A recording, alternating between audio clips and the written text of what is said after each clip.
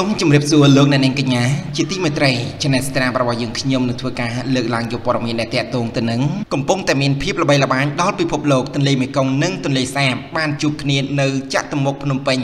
តែមិនប្រសពចូលគ្នាឡើយ Channel Star របស់យើងខ្ញុំនឹងធ្វើការលំអិតព័ត៌មាននេះទន្លេមេគង្គគឺជាទន្លេដែលវែងជាងគេលំដាប់លេខ12នៅក្នុងពិភពលោកទន្លេមេគង្គគឺជាទន្លេដ៏សំខាន់មួយរបស់ពិភពលោក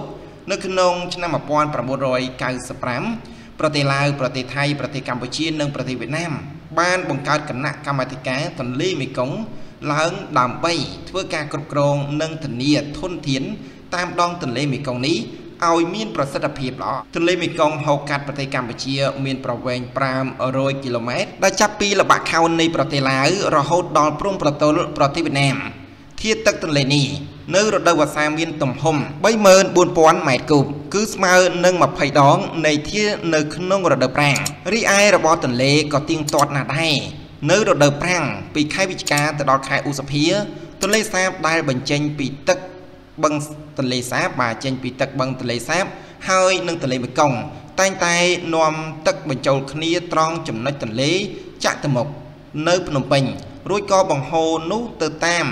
ដៃទាំងពីរចុះទៅសមុទ្រអ្វីដែលគួរឲ្យមានការភ្ញាក់ផ្អើលនិងអច្ឆរិយៈបំផុតនោះ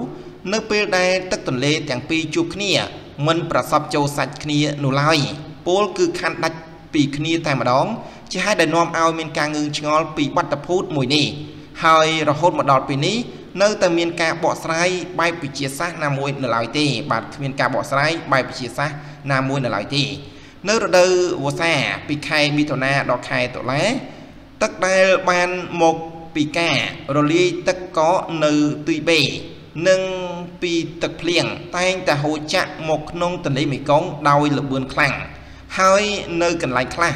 ទឹកមានកម្រិតកម្ពស់ដល់ទៅ30ម៉ែត្រចំនួនដ៏អស្ចារ្យនេះមិនគ្រាន់តែផ្ដល់ទឹកឲ្យពេញបណ្ដាញខាងត្បូងប៉ុណ្ណោះទេថែមទាំង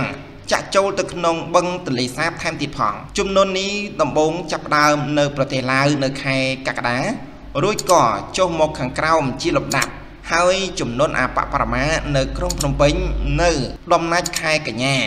ទឹកឡើងពី7ទៅ8ម៉ែត្របឹងនិងកំហូងទាំងឡាយដែលនៅអមទន្លេមេគង្គពីក្រចេះដល់ប៉ាណាម មានមុខងារខាងធ្វើឲ្យរបរទន្លេមេគង្គមានសភាពទៀងទាត់ ទឹកឡើងឬក៏ស្រកនៃបឹងកើតមានក្រោយពីទឹកភ្លៀងឬក៏ទឹកស្រកនៃទន្លេជានិច្ចគឺបឹងតែងតែតាក់ទងជាមួយនឹងទន្លេដោយសារតែព្រែកនៅរដូវទឹកស្រកព្រែកច្រើនតែស្ងួតរីឯបឹង